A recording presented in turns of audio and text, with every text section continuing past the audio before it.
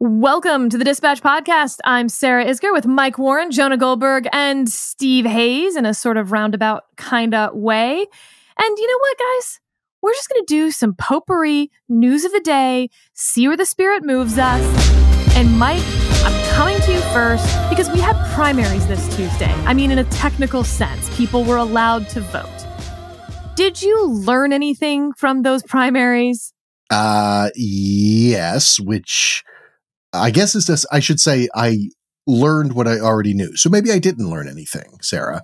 Uh, I learned that uh, Republicans really like Donald Trump and will uh, follow uh, his lead when there's a question about where Republicans should go. And I'm talking mostly about the Ohio Senate primary, in which uh, polls suggested going into the race on Tuesday um, that there was a race, that there was a there was some competition between Bernie Moreno, who was a uh, businessman, ran for Senate two years ago, didn't win the primary, didn't survive th- through the primary, uh, and uh, Matt Dolan, who's a, a uh, moderate conservative state senator um, who is kind of not a Trump type leading Republican. Um, so it got kind of interesting that uh, Mike DeWine, the Republican governor had endorsed Dolan. Donald Trump had endorsed uh, Bernie Moreno, and it was sort of setting things up for like, ooh, this may tell us some interesting things about about the Republican Party in very red, very otherwise pro-Trump Ohio. Um, and then of course Bernie Moreno like like wipes the floor with Dolan and, and Frank LaRose, the other candidate, gets over 50% of the vote in a three-way primary. And um, and yeah, and and confirms what I should have already known, which is that it's Trump's party, and uh, and when uh, voters, uh, you know, will take their lead from him, uh, Trump says jump, and the voters say how high, Mr. President. Can I tell you what was interesting to me about that in particular was that in a bunch of the other states where we still had presidential primaries going on, there was a I don't know, a healthy, whatever you want to call it, um, not Trump vote. You know, around 20% in a lot of these states, whether they were still voting for Haley or in Florida, there was a little bit of a DeSantis vote, um, et cetera. But the way that I think about this moving forward and why I don't read nearly as much into it, I think, as others, is because um, you're not controlling for the denominator, right? Fewer people show up when the primary doesn't matter. So who's more likely to show up when the primary doesn't matter? Well, the very people who want to have their voice of protest heard. So the the Trump people should be feeling quite complacent. Their guy is the nominee, no question about it. And that's what makes Ohio interesting to me is that we didn't see that complacency in Ohio at all. In fact, it's the inverse of what I'm talking about.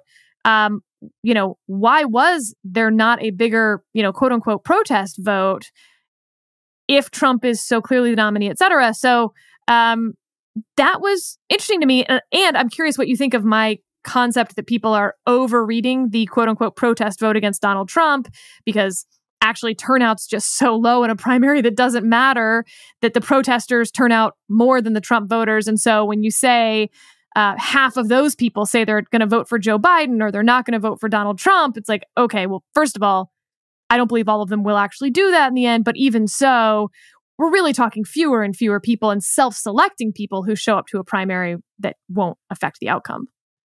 Right. You're you're a Republican primary voter in uh, Florida or Ohio, and you're really ticked off about Donald Trump taking over the party, you're going to be sure to get to the polls, even and maybe even especially because it doesn't matter. Um, I agree with that assessment. You know, Ohio had this competitive Senate primary, lots of competitive House primaries on the Republican side. Um, there's also a lot of early vote in Ohio, so um, there were a lot of uh, people who voted for Nikki Haley, you know, in in the presidential primary before she had suspended her campaign uh, because of the early vote. So um, I, I do think there's you, you shouldn't read too much into that protest vote. It's it's there, it exists. I do think there is um, if Donald Trump has a prob his biggest problem from a raw vote standpoint going into November is that there are people who lean Republican who, if it were pretty much any other Republican candidate, would be voting for the Republican presidential uh, uh, ticket in November, who will not. The question is, how many of them, which states, uh, it, will it be the key states of Georgia and Michigan and Pennsylvania and Wisconsin and Arizona? Um, whether that matters, it's all about the margins, baby. Yeah. So I'll, I'll just, yeah, go ahead. Mm-hmm. Yes. Jonah, my dear Jonah. yes. Yes, Sarah. Uh, okay. Is this going to be a race of the exhausted majority. Is that how we're going to remember this the way that we remembered soccer moms in the 90s and security moms after 9 11? That this will be a race among the people who hate both candidates, the lean Republicans who won't vote for Donald Trump, and the Democrats who reject Joe Biden? Or is that us being too dispatchy and thinking people all think like us? Okay.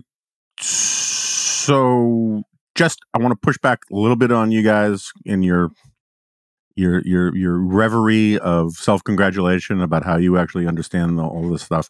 Um, I'm not saying you're wrong, right? But when when Mike, when you say uh, we shouldn't overread it or we shouldn't read too much into it, I think you're right. At the same time, we should read something into it, and um, you can you can look at the fact that, particularly in closed primaries, Republicans. So these are actual Republicans. These are people who didn't switch their party ID to vote in the Republican primary, right? These aren't people who voted as independents or registered same day or anything like that. Like a big chunk of them are actual real Republicans. I agree that the most motivated people who don't like Donald Trump, just as the most motivated people who do like Donald Trump, are going to be overrepresented in a meaningless primary at this point. At the same time, the fact that even some Republicans are willing to come out and vote against the guy when they know they're going to lose anyway might be also indicative that there are other people who feel the same way who didn't bother, right? I mean, so it can cut both ways. I don't think it's like this proves automatically that there's a tiny number of these people. Um, I think it proves that there's a weird diversity of these people, and um, and you're, but you're absolutely right. It matters at the margins. On the question of, I don't think we at the dispatch are projecting upon the double haters dispatchian mindsets. Um, because I think, at least for, in my case, there are many people out there who I think for whom our editorial about how this is no way to run a railroad and that this election stinks, um, who very much are the high minded, discerning, quality people that we have in mind when we write our editorials and when we do everything as servants of our readers and subscribers here at the Dispatch. But a lot of double haters are low propensity voters who are not following the election at all, who, um, you know, it's funny. I've had this, I've had these kinds of conversations with a bunch of people who are shocked to find out that they know people who don't care about politics and um, don't follow politics. And I was, they're like, you wouldn't believe it. I was talking to somebody and they're asking me like, who was Robert F. Kennedy? Like, how do they not know that? And I was like, that's because like they're a normal human being. And um, there are a lot of those people who actually qualify as the double haters. There are a lot of those people who are like, you know, the Biden team was telling people in um earlier in the primaries earlier this year. Um, I talked to several journalists who went to these briefings about it. That that hey, look, when we do focus groups, a lot of the people who say they don't like Joe Biden, um, they also say, wait a second, you're not serious. The Republicans aren't going to actually renominate Donald Trump again. And um, if you'd been paying any attention at all, you'd know that, yeah, they were going to pay, not like last month, you would have known that they were going to renominate Donald Trump again. They're just not paying attention. They're not tuned in. We've seen the traffic of a lot of right wing sites plummet traffic in, in, sort of news interest in general is, is plummeted. And um, those aren't dispatch readers. Those are like more normal Americans, no offense to the lofty and angelic dispatch subscribers. Um, uh, and I do think they are the soccer moms of this cycle, and they are going to be the decisive people. Um, and I kind of prefer that they are versus a lot of other bogus artificial demographic handles that we've used in the past. So I don't I don't think we're that far off, Jonah. By the way, I I I, I really no, I agree. do uh, kind of agree with you on on on the broad strokes uh, of, of, of what you said. By the way, it, it, puts me in mind, Sarah, of one of my favorite quotes of all time um, that I'll paraphrase, which was from Ed Rendell, I believe, during the 2008 um, Democratic primary, uh, which uh, in which he said um, that you know you don't get an extra vote for enthusiasm if you are unenthusiastic Biden voter you're still a Biden voter. So that's important to keep in mind. Yeah, well. it's so funny. I was actually using that quote with someone else this week because, you know, the different numbers that you can parse, the Trump protest vote in the primaries was larger than the Biden protest vote in these primaries. Trump's was about 20% and Biden's was about 10%. But then in the polls, when you ask uh, Republican primary voters how enthusiastic they are about Donald Trump, that number is much higher than Joe Biden's number in the Democratic Party. And I was like, yeah, that number doesn't matter as much as you think. What you're trying to get at is sort of who's going to stay home. But at the end of the day, the Biden campaign doesn't care if you're sad about voting for him, if you're voting for him. your your happiness is not their primary concern, or else we wouldn't have, you know, negative campaigning for the last ever, all of it. uh, negative campaigns work even though voters hate them because they still vote the way that you want them to based on the negative campaigning. Um, Mike, I thought we could do a little update on some of the Trump trials, the well, just all of it going on, because there's been some weird little updates, and I just think it's worth a quick nosh, if you will. All right, so First up, the update coming out of the Georgia January 6 case Fani Willis not removed as the prosecutor, but the judge writing a scathing opinion about her tremendously poor judgment, uh, though noting that um, a prosecutor who does bad things, even repeatedly, as he said, does not necessarily warrant removal. Even noting at one point she had acted unlawfully but that that had not risen to the level of removal. Mike, it was sort of the worst win you can have as a prosecutor. Yeah, it reminded me of when James Comey announced that uh, they were not going to be prosecuting Hillary Clinton, um, which like just made things even worse for Hillary. Um, yeah, th- that was that was really bad. Uh, that was a bad assessment of Fani Willis's behavior. And in my estimation, it was correct. She behaved really, really badly um, by making some really stupid decisions, hiring her her her boy toy as a special prosecutor, whether or not they were romantically involved beforehand, uh, before she hired him or after she hired him. It was just a bad look. And I will say that the judges assessment also extended to her testimony in the hearing. Uh, and and we covered that in the collision. And I watched that hearing live, uh, and Fani Willis is uh, really performing, uh, trying to really. It, I, I, in fact, I spoke with some people in Georgia afterward, in which they said she's not performing for the benefit of the judge. She's performing for the benefit of her constituency. Um, she's an elected official in Fulton County. It's a very Democratic county. Um, and uh, it was a good thing she wasn't performing for the judge because he was unimpressed with uh, her sort of flippant performance uh, there. What's fascinating to me is, I, and people have largely glossed over this, he found that she acted improperly when she gave her speech at that AME church where she said that her critics were using the race card because he found that it was clear in the context that she included the defendants in that and that therefore she was potentially tainting the jury pool by calling the defendants racist and that that was improper for a prosecutor. Now, he said it was not so prejudicial as to rise to the level of removing the prosecutor, which is an extraordinary remedy. But he said it will be up to the state bar of Georgia, the state legislature, and the voters of Fulton County what they may want to do about that. Um, you know, a finding from a state judge that you acted improperly uh, for the bar, I don't know what else they're going to do with it other than have to do something. Um, though, again, people rarely get disbarred, certainly not for something that she wouldn't even get removed from. Being disbarred is even bigger penalty. But Steve, I just think this has worked out as well for Donald Trump as if he had written them himself. Because if she had been removed, it's sort of to use the Jim Comey example. If DOJ had simply indicted Hillary Clinton, she then would have been able to fight back at that being, you know, them after her, she's the victim, etc. The worst case scenario for her was she had nothing to fight against. They didn't indict her. They just said she was reckless, etc., etc., and all these horrible things about her. Same thing for Fani Willis here.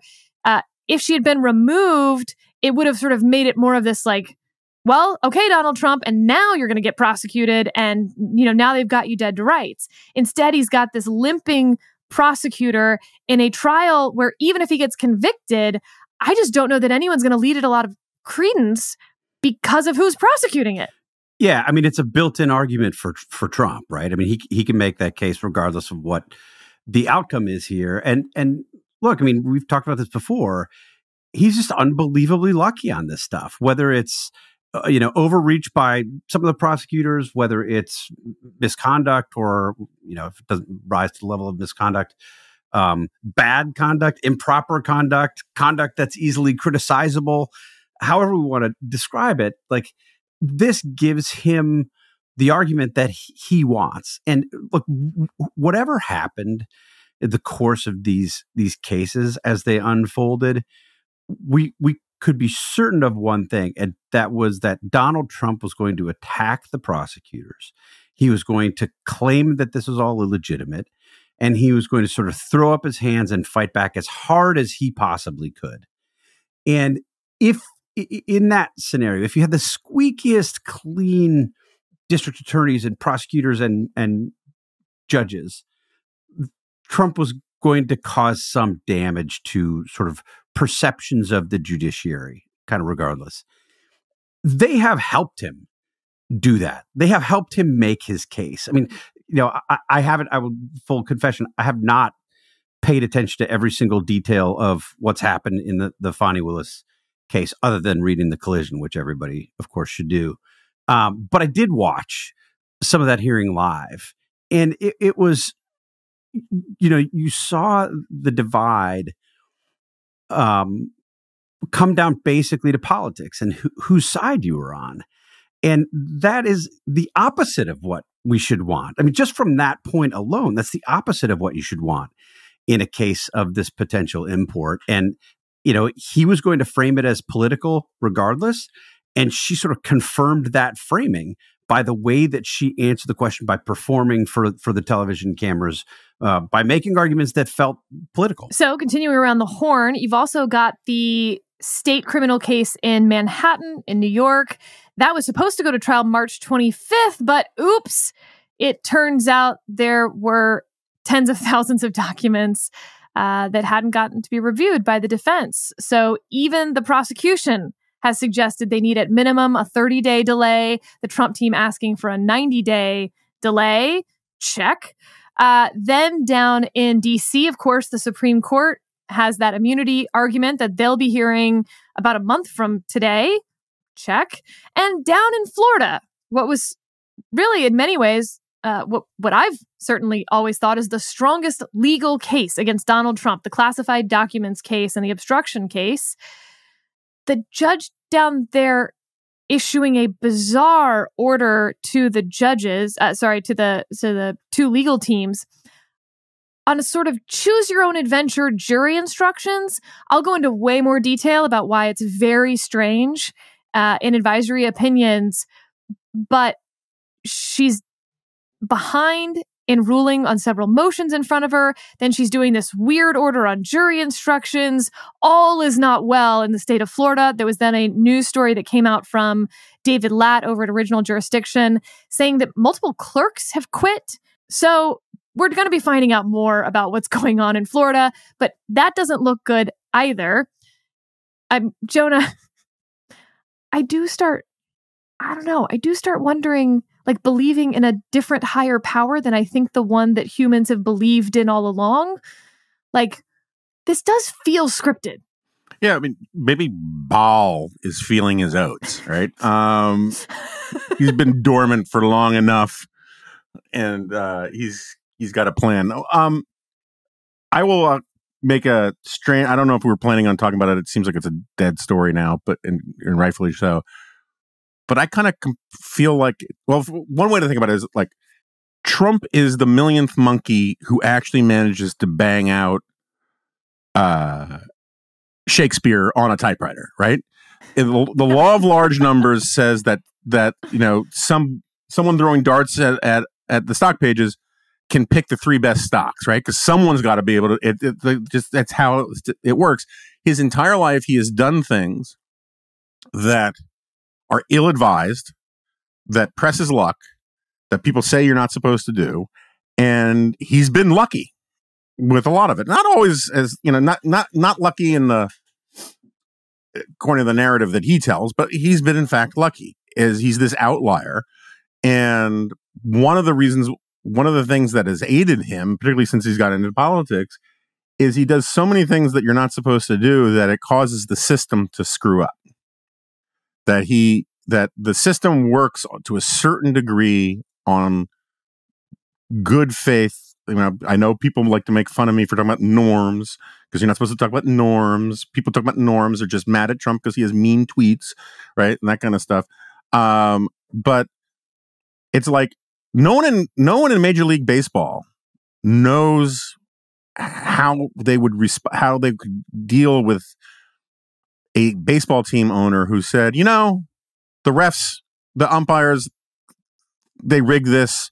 The scoreboard lied. We actually won that game, right? There's no one has any kind of like muscle memory or understanding about how to deal with that kind of thing, and it's similar like that with politics. And so he forces errors on people all over the place. And what I was going to say earlier was compare it to this stupid bloodbath thing, where I don't think anyone is shocked when I say Donald Trump says stupid and irresponsible stuff all the frigging time. But that doesn't mean that everything that can be interpreted as stupid and irresponsible um, or evil or inciting violence is inciting violence. It could just be a word that he used. And the media just jumped on the opportunity to say he's calling to foment violence, where I just don't think a fair reading of the thing says that you know, people can disagree about it, but it's just not obvious that this was the hill to die on on this argument. Similarly, the Bragg case, you know, the Fani Willis case, the the the so many of these legal arguments and legal efforts, they are not the best arguments and the best efforts to go after Trump. But the system, his violence to the system elicits people to overreact and over respond and screw things up in desperation. And I think that's what we're seeing on the in the justice system right now. Mike, uh, there was an interesting article today from a law professor that you and I might be writing about in the future about whether Donald Trump should and would declare bankruptcy based on these uh, civil rulings against him and what looks to be his inability to liquidate the funds fast enough. set aside all the legal reasons that it would be very good for him to declare bankruptcy. Lots of there's lots of sort of immediate things that come into effect to protect you when you're shielded uh, by the bankruptcy courts. By the way, this news article was kind of funny because it was also speculating at where Donald Trump would file. And it speculated that he might file in Houston because there's a judge, a bankruptcy judge in Houston whose daughter worked for Donald Trump. Perfect. Uh, there was like the first comment was from a dispatch member that is like, "Are you kidding? Do you know who she is?" I don't think so. Um, so that it could be so much fun though, Mike. I mean, if these are really good scriptwriters, that's exactly what will happen. Would your dad have to recuse himself the, from that? Do you think? Is there a conflict there? I, am not going to speculate on the podcast as to what the legal requirements would be. Um, uh, there's obviously like actual financial interest and like real conflicts, but there is this sort of catch all on appearance of impropriety. I, I don't know what anyone thinks about what the appearance of impropriety would be. Obviously, some people think that I'm quote in Trump world and other people think I'm never Trump. So maybe it's just the appearance of both sides, or I don't know. Uh, of course, I'm his daughter. I'm not him. When Supreme Court justices don't recuse just because their kids have opinions on things. So there's all sorts of stuff. Again, like I, I have no idea what any ethics person would advise in that case. Uh, but Mike, I'm curious about the politics of this. Like, let's assume it's good for him financially and everything else to declare bankruptcy. He's declared bankruptcy before. And his voters, I would assume, would say something to the effect of, well, I mean, they went after him just to make him do this. So, you know, but those are his hardcore voters. A presidential candidate with four criminal indictments who just declared bankruptcy. I don't know. At some point, the pile gets high. Well, this has always been my theory about about the general. When I say the criminal cases, like the general idea of the criminal cases, that four indictments, that a tr- at least a trial going on. Um, you add all of these uh, all of these civil uh, findings uh, and, and and penalties that he's has. That this this is something. Speaking to the voters who aren't really paying that close attention, when it gets close to the election, like we're going to be hearing a lot more about this for, for, for no other reason than there's going to be a lot of Democratic money pay, paying for ads that could potentially bring all this stuff up. Um, I certainly would go against Trump's own image as a sort of very successful businessman if he's got to declare bankruptcy again. On the other hand, like you said, he's declared it before. It's never stopped his image, you know, from him from sort of creating this image of himself. Um, I, I don't know. I do think that this, this is in um, our latest issue of the collision is there's a new poll from ipsos um, that looks at kind of americans uh, viewpoints on all the criminal cases. And what i was struck by is ipsos did this poll six months ago and they they went back and asked again essentially asking how much do people know about these cases each of the four? Do they think he's guilty or not guilty or they don't know? And across the board first of all um, it's about uh, 60% of people say they're familiar with the details. Um, I would really like to dig down on how familiar they actually are versus how familiar they say they are. Um, and uh, it's something like around half of the people say that they believe he's guilty uh, of each of the four in each of the four trials, um, with a quarter mostly Republicans saying he's not guilty and the rest saying they don't know. Um, that has been consistent for the past six months. Um, I think things are have the potential to change on that front as the general election really gears up. I know Biden himself doesn't want to get into this because it's his Justice Department that's prosecuting Trump in two of these trials. Uh, but I do think there will be a lot of Democratic, um, uh, pro Democratic uh, ads and groups that will be trying to target voters and remind them that, like, as as Nikki Haley liked to say in the last few weeks of her campaign, this guy brings chaos. You know, this chaos follows him wherever he goes. Um, uh, you know, we act as if that's a known thing about him, but I, I do think a lot of people uh, uh need reminding. Voters need reminding of what they supposedly know. I think that's true, and um, I'll be interested to see how much Democrats uh, uh, really use this stuff. Steve, I have a real sense that most Americans, like more than most, a lot, a lot of Americans just are not tuning into this and going in both directions, meaning uh, some Americans have never tuned into it and they'll probably tune into it the closer we get. They'll start tuning in more. And some Americans were tuned in and have been so fed up with the whole thing that they've started to tune out. And we're certainly seeing that some of the media numbers. And I was wondering if you had thoughts on the sort of media consumption side of this campaign.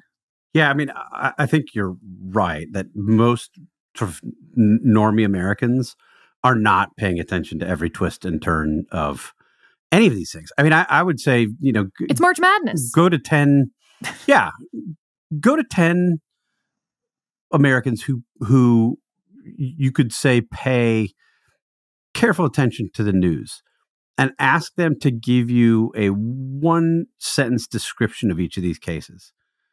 I would wager that one in 10 could maybe come close, honestly. Um, you know, I, I, I work at a news outlet. We publish, you know, your terrific newsletter that follows this stuff carefully. I try to keep up with the news. Uh, I pay attention to, to this to the extent that I can. And I'm not sure I would do that very well. honestly. So uh, yeah, I I think people aren't paying attention to every twist and turn of of this stuff, and you know, for for many people, they just you know divide into their their camps based on what they thought coming in. Do you think the justice system is going after Donald Trump, as he says at every turn, and as his uh, his primary opponents uh, echoed in the campaign that they were waging against him or with him, I suppose? Um, or do you believe that he's guilty of these things and and should be prosecuted for them? A lot of people, without respect to a careful look at the facts, have those answers. All right, let's do a little around the world. Chuck Schumer, obviously the highest ranking Jew in the history of the United States, gave his speech uh, criticizing Bibi Netanyahu, saying that he was one of the impediments to peace, not the only one. He also um, reiterated his strong support for Israel. But because Netanyahu was one of those impediments to peace, said that there should be calls for a new election and that he should be replaced in Israel. Jonah, this has been met with many reactions. Whether it's appropriate, setting aside the appropriateness, whether he's right. Give me your reaction. So, uh, actually, I want to react first to the way you set it up. Uh, you, you're following in good fashion a great number of people, starting with Chuck Schumer himself, who often say Chuck Schumer is the highest highest ranking Jew in America, and I think it's a garbage term that he puts out there. Um, he's the one who tells people this all the time. He brags about it all the time. I don't know. I mean, like we've had Jewish governors. Is it really true that a majority leader is who's not in the constitutional order, right? He's not the Senate pro tem, right? He's not in line to be president. Um, he's a high ranking, politically high ranking official in the Democratic Party in one branch of the legislature at one level of government in the United States. Um, and I say fe, which is a term of my people, um, uh, on this this this braggadocio from him that he is incepted into so much of the media.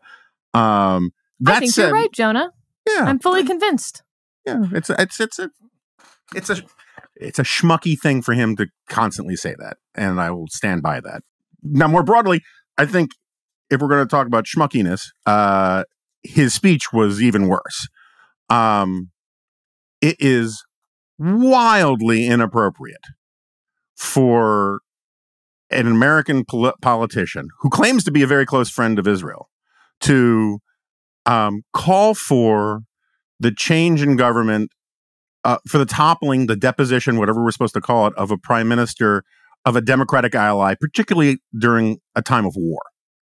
Imagine the blowback if Bibi Netanyahu said, it is really time for Republican leadership in America today. The gnashing of teeth and rending of cloth um, would be biblical. New Testament or Old Testament?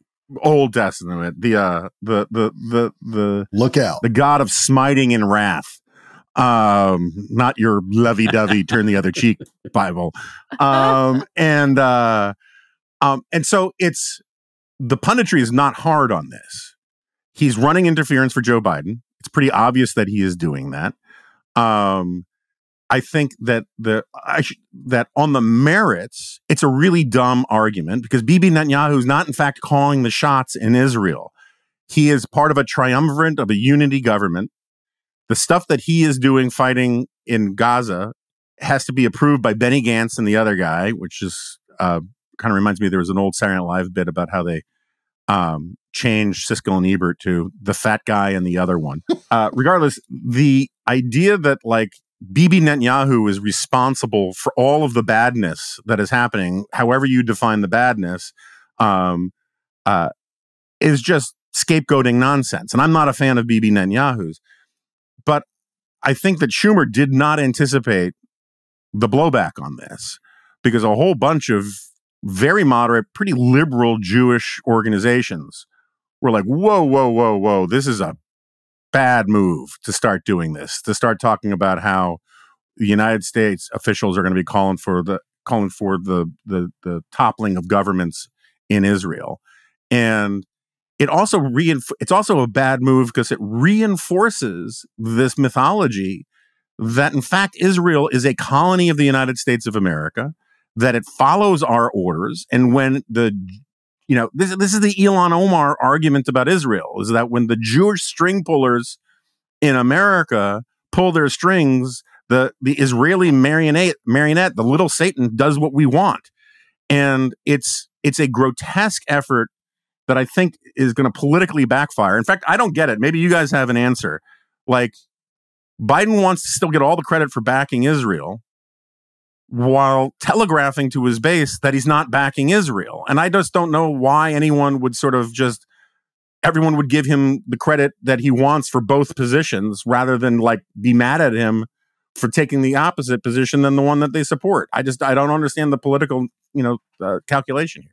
Hey Steve, I don't want to put you on the spot to solve the Middle East for us, but I guess I'm pretty confused on what anyone thinks the end game here is. They don't want Israel to, you know, have a military operation in Rafah. Um, they do seem to want them to wipe out Hamas, but even if they wipe out Hamas, they're saying that because of the way they do it, then there won't be a peaceful solution. Uh, I'm confused what any person of good faith thinks that the end game here can be at this point. Yeah, I mean, I, I think it's pretty confused. If if you're Chuck Schumer, I think the, the and you want to address this on substance. The question is, will what I say make it harder or easier for Israel to wipe out Hamas, which Chuck Schumer, Joe Biden, and other Democrats say that they favor? There's no way you answer that question in the affirmative and then go ahead and say what say what he said. I mean, you, it, it obviously makes things harder. And I think the the the problem with this, the the difficulty I have with this, is that it's hard to come up with any other explanation other than politics, right? I mean, I think Jonah's right about that. This, that's what this that's what this is. Um, Joe Biden has done everything he can to um, bring back the progressive left, not just the sort of, um, you know, Rashida Tlaib contingent, but others on the progressive left who have adopted this cause uh, as their own. Um, and whether it's in his public statements, whether it's in things that he has said and done that I think really approach moral equivalence equivalency, um, or whether it's the steady stream of leaks out of the White House about how tough he's being with with uh, Bibi Netanyahu. They're trying to to recover at a point where he's at 38% approval, and part of the reason he's at 38% approval is he's lost some people on the progressive left. They're trying to get that back. Like this isn't that complicated. I, I would say on on Chuck Schumer specifically, has Chuck Schumer ever called for regime change in Iran? I mean, is it the case that Chuck Schumer is calling for regime change in Israel before he's calling for regime change in Iran? And I'd say that like half facetiously, but there's a point there. I mean, it's pretty obnoxious, I think, to, to do that and to to take on whatever you think of Bibi Netanyahu to to to challenge an ally in the middle of a war and a war that you know not only the Israelis but I think a lot of us believe it is potentially an existential war um, I just think it's really bad form. Mike. Yes. The world. Well, can I say something quickly about this Chuck Schumer thing? I, I, I think it's a great example of how Chuck Schumer is extremely clumsy when it comes to these kind of political efforts. It's it's almost as if he thought that only the progressive left would hear this speech that he was giving on on the floor of the Senate as the Senate Majority Leader and highest, well, okay, I won't say highest ranking Jew in, in America. Um, like it, I, I, it seems, it seems that this is kind of a, like, this is not the first time that Chuck Schumer has done something, uh, has attempted to sort of thread some kind of political needle and done it in a clumsy manner. And at the end of the day, I don't understand why the Biden White House, why Chuck Schumer and and and and the rest of sort of the Democratic leadership feel that they have to do this. I get that they're hearing a lot. They're getting a lot of guff from the progressive left on this issue. Um, I think a more confident Biden would recognize that these are voters, these are constituencies that don't have anywhere else to go. Um, uh, you don't have to put a thumb in their eye uh, on on things, but you you don't have to coddle them either if you're concerned about them not coming home in, in November. I, I just think that that's a concern that is going to be out of your hands, and you you if if you're looking at this from a gross just kind of pure political standpoint, you you you get gain a lot more by tacking to the center on this issue than you do by trying to play uh, this this weird political game. All right. We're moving on to Not Worth Your Time. And I want to talk about Abraham Lincoln. Abraham Lincoln, of course, is always worth our time. We could have a whole podcast just on Abraham Lincoln. I'm curious if any of you have watched the new Apple series Manhunt about the hunt for John Wilkes Booth after Lincoln's assassination. No, I have not. I have not, but I'm intrigued by the the teasers. Have you? So, first of all, Manhunt, the book by James Swanson, for a long time has been my favorite book. It's, you know, what during the pandemic, I published my like top 10 or so, I think, favorite books for dispatch listeners. And that was definitely on the list. High, high praise. It's a real thriller page turner. So, this is a series loosely based off the book. Of course, they're going to take some liberties to make it even more thrillery and fun. Thrillery? I like that. I yes, like it. Jonah. I like it. Some would say thrilling, but Sarah says thrillery, and I like that. Uh-huh. but one of the things that I love most about it is that, in my opinion, they have tried to do Lincoln correctly, meaning he's kind of awkward, he has a high pitched voice, it's like a little bit um, jarring, it doesn't sound very presidential, quote unquote. He's sort of gangly. And I think it's really great. And they're also doing a series about Ben Franklin with Michael Douglas uh, as he tries to win France over to the American cause after the Declaration of Independence. And it just feels like the musical Hamilton has opened up this whole world where people are interested in revisiting what we think about our own history. And obviously, the fight over the 1619 project and just school curriculum in general and our pop culture. Um, I wonder whether we will look back at this era as being pretty miserable in sort of a 1968 way, but that what comes out of it is something good, which is it's actually not a bad thing for us to take a renewed interest and really fight over what our history is, what our narrative is, what we're going to tell ourselves is like what we stand for as a country. Because every other country doesn't really even have to ask that question because they weren't founded on an idea.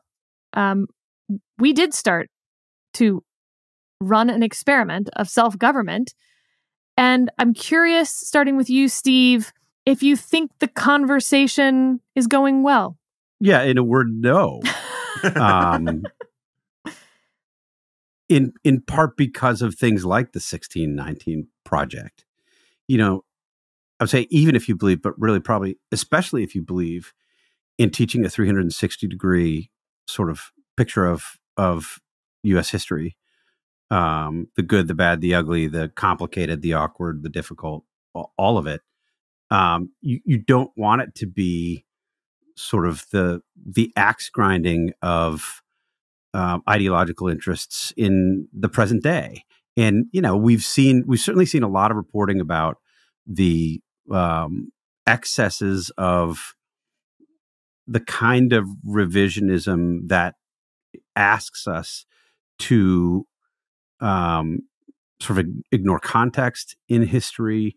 You know, asks us not to honor people who are complicated but deserve to be honored anyway, right? I mean, we all the extremes of of this are the you know people who want to remove George Washington from all public appearances and people who are taking names off of buildings of of founders who've done great things but were slaveholders. Our ability, it seems to me, is just in terms of a, a national dialogue to address complicated issues in nuanced and meaningful ways we're not doing very well on that right now. Do you disagree with that, Sarah? I think I might because in order to have any conversation, you're going to have to have people on the extremes, or else it's not really a conversation. Meaning, uh, you know, I, I see this in the the media setting all the time. You sort of have this thing that we all then talk about, but if there's nothing that we're even talking about, then the conversation itself never happens. So you needed the 1619 project to start the conversation to begin with, but I think by and large, it's being rejected. Um, and if it weren't controversial, it's not though. It's not. I know it's though. not by I don't think it is. I think it's being rejected. It's it's being rejected in in our circles, and we've run pieces about it at the Dispatch. And I think people who have taken a, a serious look at the project have pointed out its flaws in great detail. yes, most history professors. Yeah, most history professors weighed in and said it's it's bogus. That doesn't mean it's not being taught in schools. It is being taught in schools, right? I mean, this there's a whole campaign. There's an entire effort to have the 1619 project taught in schools. School administrators that resist are bullied. Um, you know, the, the the implication is that, and sometimes it's not just an implication, is that they're racist for not wanting to teach 1619. The New York Times sort of stood by um, the the project even after all of the the flaws were pointed out. I, I, I'm not sure if if you believe that it's sort of bogus history. Um, we're they're they're they're succeeding in just sort of bowling over critics and teaching it the way that they want to teach it anyway. I don't think they will in the end. I agree. It, but again, I don't think we'd even be getting to have the conversation if it didn't gain some traction. And so, in that sense, I'm almost grateful that they put that out there so that it could be this uh, thing to reject in a sense. And at the same time, you have Hamilton is the most popular musical of all time. But the tenth graders who are getting it aren't rejecting it. Oh yeah, right? no, I'm I'm already acknowledging that this generation we've just we've we've screwed them over in any variety of ways. That's like maybe the least of it. But yes, that sucks for them. But Hamilton is the most popular musical. We've now got shows about Lincoln and Ben Franklin just on like Apple TV for pop consumption. I don't know. I think I think that that exhausted majority, silent majority, whatever we're calling them these days, might be more into America than Twitter would have you think. Jonah? Yeah, I- I'm more sympathetic to your point than Steve is. I also think What else is new? a la, a la Adam Smith, there's a lot of ruin in a nation. And um, the 1619 project really is garbage and has done a lot of go- damage and harm. Um, and there is an effort to teach it in schools, which I think is absolutely terrible. Fortunately, I was just looking at you know some of the the reading proficiency uh, results for Newark for some reason, and like the best district in Newark was only getting um nine percent of the students hitting proficient uh, reading at a third grade level. So they're not reading the sixteen nineteen project either. Um, but um, um, hey, I'm looking at the upside of, of educational dysfunction. No, but um, but I do think you're right, and uh, uh, that that you need um, a reacting agent to get people to run to the defense of some things. And you know, let us not forget that you know Charles Beard hundred years ago. Uh, you know, he wrote the economic interpretation of the Constitution, which was this sort of soft Marxist thing that the founding fathers were um, solely interested in their own economic self-interest, and it elicited a massive intellectual project to de- deb- debunk Charles Beard and that whole analysis. And I think we're going to see a generation of of similar efforts about the 1619 project. I will say that when you brought up Lincoln um, at the beginning of this, I just assumed that you were joining the remarkable chorus of people who say that my conversation with Allen Guelzo, uh, who has a new book, Our Ancient Faith, about Abraham Lincoln, um, is probably the dean of Lincoln scholars, uh, Lincoln historians, that you were just trying to plug what a wonderful conversation that was because a lot of people people are saying it was maybe the best remnant ever and it's People are not saying this is so Trumpy. and it's not my well that was the joke And Abraham Lincoln is getting recognized more and more these days, I think, uh, in part I because of your also- podcast. also when you were talking about Abraham Lincoln and the, they were doing the Abraham the real Abraham Lincoln right I was reminded of the week the old Weekly Standard cover about whether Lincoln was gay and then you called the show Manhunt and I was like oh my god Sarah is going there but uh, that's a different conversation uh, have have I ever told y'all my Lincoln bedroom story? Is it appropriate for this podcast? No. I don't know. Not really. Not safe for pods. I'll I'll skip over some of the details, but the Whoa, West wow, Wing wow. was- this is gonna get this is gonna get a rating. the West Wing uh, Yikes. HVAC system needed renovation. And so all meetings with the president were being done in the residence. And so I was in a meeting with President Trump and uh, the attorney general, the FBI director, the chief of staff, and the national security advisor. I was the only woman in the room. And as the meeting wrapped up, uh, the president looked at me and said, Do you want to go see the Lincoln bedroom? Yeah, I I, do. I will tell you in the back of my head, I thought, yeah, there's no downside to this. and I said, of course, Mr. President. And you've never seen old men jump up faster in that room to also go on this tour of the Lincoln bedroom. um, and it was actually really cool. And I got to to see the mirror and the desk and like all the the things. Um, it was a weird day. It was a weird one, but um, yeah, I I'm very into Lincoln. I think there's a real debate to be had over who the most important leader of the United States has ever been between Washington and Lincoln. I think Washington setting the norms, Jonah, and in particular, of course, stepping aside. You just can't really beat that because without that, that you know, the country's first transition for the history of any country in the world is always so significant and really lives or dies by that first transition. But even so, Lincoln, man, Lincoln, that second inaugural gets me every time. And for listeners, if you have not visited the Lincoln Memorial at night, just to read that second inaugural with sort of those like, I don't know, the misty lights and everything at dark, and to see the other Americans who've brought their children who could go to Disney World or Mall of America or some other concrete palace, and instead they've taken them to learn about their country's history. I don't know, Steve. I'm feeling pretty optimistic. But Mike, last word to you as a father of boys and who loves America. How much do you love America today, right Yeah. now? Defend the 1619 project, Mike.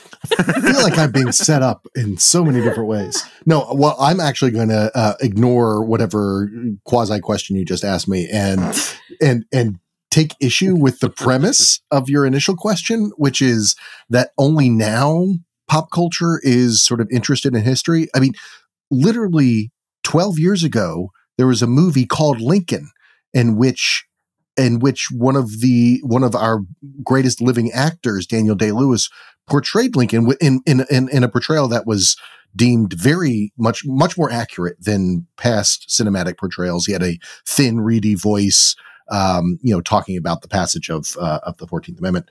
So so so that happened. He won an award, you know, Academy Award for that. A few years before that, there was the John Adams miniseries on HBO. So I, I do. There's also, I can't believe no one's mentioning Abraham Lincoln Vampire Hunter, which was awesome. Does it, did it really even need to be mentioned? I mean, I think we're all thinking it. Uh, Joe, By the way, I'm pretty sure the movie Lincoln was about the Oh, 13th, 13th Amendment. I'm sorry. the 14th sorry. Amendment, which is a little bit relevant to my overall point because another way to read that was that that movie was about the th- passage of the 13th Amendment ending involuntary servitude and slavery, maybe less about Lincoln, right? okay, but your point, my my point is that it's about history, and, and I do think like Americans are and kind of have always been very much interested in um in our our myths and I mean, I do have the entire Ken Burns Civil Yeah. War documentary memorized from the number of times that I listened to it in my father's car and at our house, and that would have been in the what? that was in the 90s, yeah yeah came out? farewell was the name of the uh the the song I can play it on the viola. It was my audition. i can play it on several What? instruments it's a great uh it's a,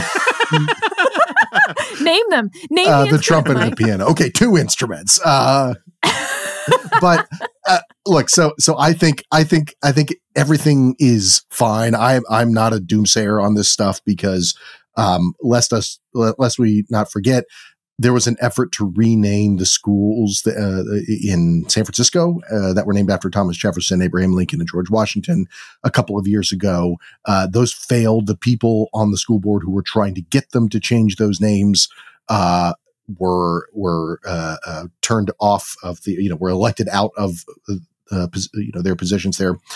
So I think it's all fine. It's all a big mess. Um, you just gotta you gotta teach your kids, you know, teach the children well, as Crosby, Stills, and Nash said, and um, and that's all we can hope for. That's my that's that's my position on on this strange topic.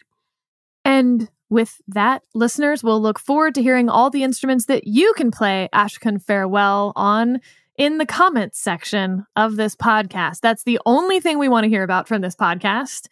Uh, someone who can play it on more instruments than Mike and more obscure ones than the viola, like me. Although my viola is downstairs right now, out of its case, like it's ready to go, Mike. So we can like let's see if you can still play it on trumpet because I think you might be talking a big 1996 game here, but not not much of all. Steve, what are you showing me right now? That's a violin. That's a fiddle right there. You should Oh, know the- what that is if if you've seen if you've played the viola. Was that a sleeping bag on the floor? I didn't know if that was like a what what's on the floor there that you were showing me. no, that's my jacket. But up there is Oh. the, That's what I thought you were This showing is me. great content. is the violin. Steve, do you play the violin? Um, you know, Um, I know he doesn't I play the violin. did It's because play the there's a violin. violin by itself on a shelf without being in a case and on its side. Um, that is not great for violins. This violin is pretty well trashed. It was my high school rental violin. Um, I did not. It, I, I I rode my ten speed to school with it every day, and so it got pretty well banged up. Wait, if it's a rental, why didn't you have to return it? Um, we bought it at the end. We had paid so much in rent that we sort of it was like rent to own option, Oh. so we bought it at the end because we were optimistic about my ability to to to continue to play. I loved playing the violin. I wasn't great. I didn't practice much. I can't play your shokin chokin whatever, a Shokin farewell. but I can play widespread panic. I've played some widespread panic. Um, they have a great song with a, a violin solo. Um, I taught myself that, uh, but I don't play very much anymore. Jonah, what can you play? I play no instruments whatsoever. None. This is the one thing in which you have failed to be this Renaissance man that I think of you. Oh, as. I've failed in many others. uh, but no, I, I, What languages do you speak, Jonah? I I speak no languages fluently except English. And even that's questionable. I'm the one who said, what was the word? Grillery? I was, you know, I, I, I'm trying ever since the state versus government thing, and then they with the highest ranking Jew. I'm trying not to like do my picayune nitpicky stuff, but like I was going Uh-huh. to pick a fight with Steve for using the phrase regime change, but I decided just let it go. It's because in part it's Big of it, you. well, no, it's caught on. It's caught on now to mean something that it doesn't mean. But like regime is supposed to actually mean the system of government and not just like one administration or another. And it has been so used and abused now that people just think that like every four years America has regime change. Um, you know, when an election, and it just doesn't. Do you know what you're doing right now, Jonah? Mhm. That is a paralipsis.